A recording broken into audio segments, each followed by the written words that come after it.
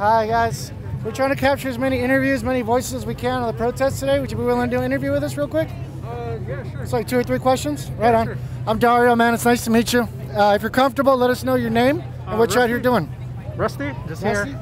Right Uh, on. yeah, And uh, what brings you guys out here today? uh, just like supporting the movement. Uh, I've been trying to back up this movement ever since I got into like uh, activism in college, Nice. and uh, it's just uh, coming from like a weird town like Daly City, where you know they they uh, appropriate like black culture and stuff, especially like the Filipino culture, but they're able to, uh, you know, like not appreciating or like fighting for them, yet they want to like copy all their culture and everything. I think it's like important for me, especially as like first generation, to like start like a new movement, not only fighting for them, but also like changing like the whole anti-blackness and like my family just because of the outdated stuff in the Philippines.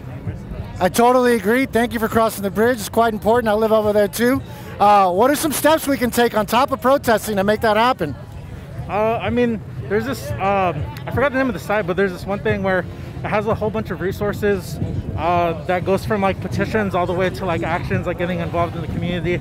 I know everyone keeps saying like vote and vote, and of course that's important, but it doesn't account for you know how corrupt the system is and how people can win no matter like how the skewed votes happens, just like how the presidential election happened. It's a good point, man. Thank you. Want to add anything?